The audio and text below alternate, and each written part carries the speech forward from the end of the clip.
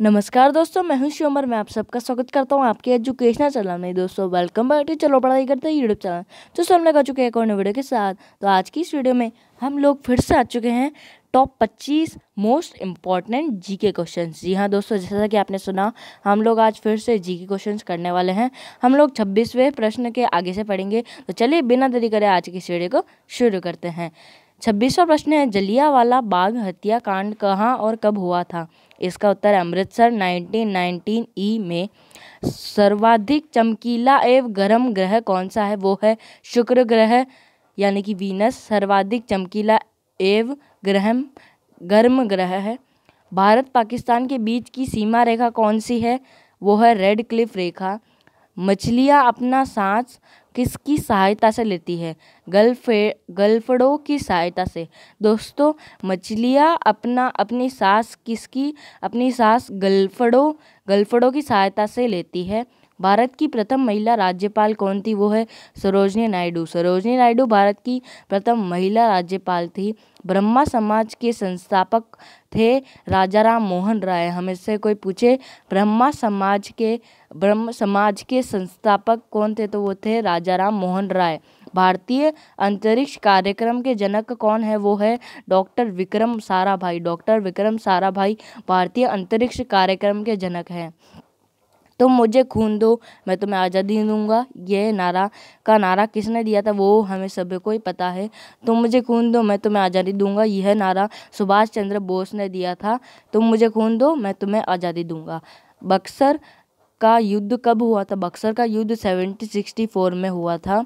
Mount Everest पर दो बार चढ़ने वाली प्रथम महिला कौन थी? वो है संतोष यादव। संतोष यादव माउंट एवरेस्ट पर दो बार चढ़ने वाली प्रथम महिला थी। वास्को डिगामा का भारत आगमन कब हुआ था? वास्को डिगामा का भारत आगमन 1498 में हुआ था।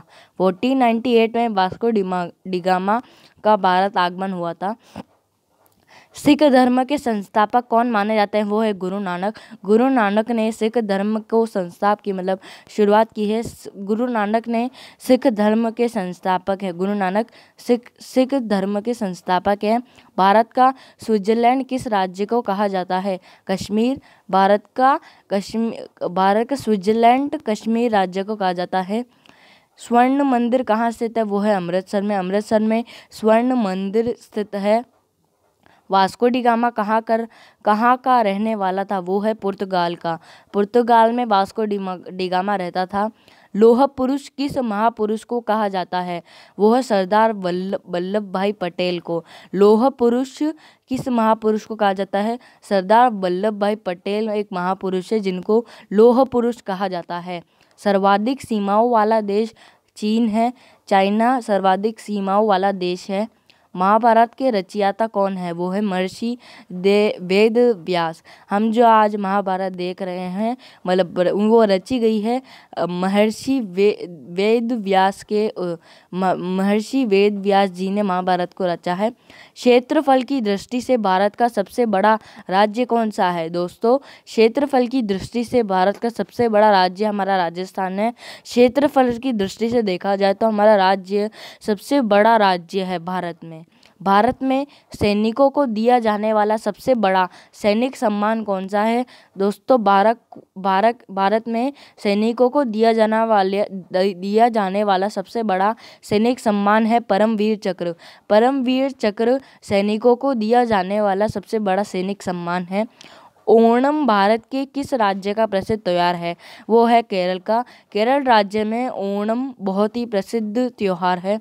जनसंख्या एवं क्षेत्रफल की दृष्टि से विश्व का सबसे छोटा देश कौन सा है? वो है वेटिकन सिटी। दोस्तों, वेटिकन सिटी जनसंख्या एवं क्षेत्रफल की दृष्टि से विश्व का सबसे छोटा देश माना गया है। पंजाबी भाषा किस लिपि में लिखी जाती है? गुरुमुखी लिपि में। अगर हम पंजाब, पंजाबी भाषा की लिपि जानना चाहते हैं तो हमें यही जानना है, बस गुरुमुखी लिपि में पंजाबी भाषा लिखी जाती है। कलाम का सिपाही किसे कहा जाता है? मुंशी प्रेमचंद्र को। मुंशी प्रेमचंद्र को कलाम का सिपाही कहा जाता है। भारत का सबसे प्रथम विश्वविद्यालय कौन सा है? और उन, उसकी स्थापना कब हुई? भारत का सबसे प्रथम विश्वविद्यालय है नालंदा विश्वविद्यालय। 450 में उसकी स्थापना हुई थी। 450 देख लीजिए अब। भारत का सबसे प्रथम विश्वविद्यालय है नालंदा। विश्वविद्यालय। सबसे प्रथम विश्वविद्यालय है नालंदा विश्वविद्यालय और उसकी स्थापना 450 में हुई थी। तो चलिए दोस्तों, इसी के साथ साथ हम हमारे इस वीडियो को करने जा रहे हैं। अगर आपको वीडियो पसंद आती है तो लाइक करें, शेयर करें और हमारे चैनल को सब्सक्राइब करें। दोस्तों, ये हमारी दूसरी वीडियो होने वाली है। पहली हो चुकी है आपको पहली, दूसरी, तीसरी और जो चौथी वीडियो आएगी, उन चारों में कमेंट करना और हमारे चैनल को सब्सक्राइब करना है। तभी आप बनना हमारी वीडियो के विनर बन सकते हो। एक बार मैं आपको डिटेल में बना दूँ। अगर आपको हमारी वीडियो का विनर बनना है तो सिंपल सी बात है, आपको हमारी चार वीडियो का, चार वीडियो में कमेंट करनी है। ये दूसरी वीडियो है, इसके पहले जो वीडियो आई थी, उसको मान के, उसको गिनेंगे तो टोटल चार, ये दूसरी है, फिर बाद में दो और आएगी, उसमें आपको कमेंट करना है। सारी वीडियो में कमेंट करना और सब्सक्राइब करना है तो आप, मैं फिर है ना, आप में से, आप ही में से ही किसी एक जने को रैंडम पिकर से लूँगा।